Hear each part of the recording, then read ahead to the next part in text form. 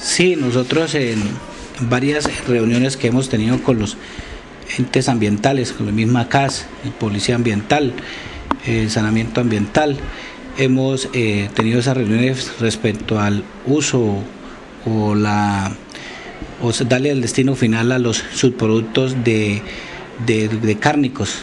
Entonces, eh, ya le hemos dado la solución que un señor nos ha llevado, estos productos, productos los llevan a la ciudad de Bogotá. ¿Qué es lo que llevan? Los llevan lo que es la eh, cuero de ganado, llamémoslo así, las cabezas y los huesos. Eso sí lo están llevando diario. Y lo el problema que nos eh, ahorita nos está quejando en los subproductos, llamemos eh, las escamas de pescado, las espinas, eh, los pollos, la piel de pollo, los, que llamamos también los gorditos, gorditos y también pilinchos. Más que todo eso es lo que llamamos en, nuestra, en nuestra plaza. Entonces, eso queda a un lado y ¿dónde se depositan? Nosotros siempre los cogemos y los depositamos en una caneca para que sean llevados a su destino final.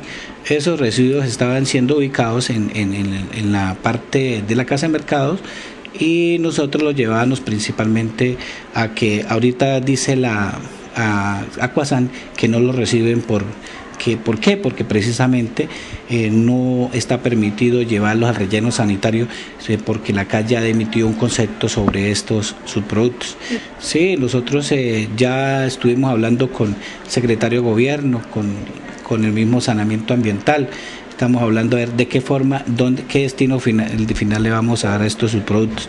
La verdad que nos preocupa porque de todas formas el mercado ya le ha dado eh, soluciones alternativas como son el destino final de estos subproductos, como fue los huesos, los, los cueros y, la cabeza que pudimos conciliar con un señor para que lo llevara a la ciudad de Bogotá.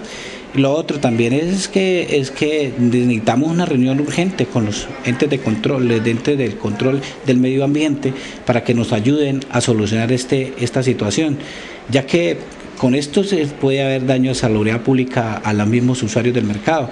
Lo otro, yo había denunciado públicamente sobre los señores de la FAMAS que me traían estos subproductos o estos desechos de carne, me los traían aquí, me los a la casa de mercado, ahí en la esquina, en la calle 14 con, eso, con 11. Entonces, de tal manera que ya hay las denuncias, pero falta que la, eh, autoridad competente nos ayude a solucionar este problema, porque cogieron de botadero de basura eh, en la casa de mercado. Entonces, eh, ojalá se haga una urgente reunión con secretario de gobierno y con todos los entes de control del medio ambiente para que nos den solución a esta problemática.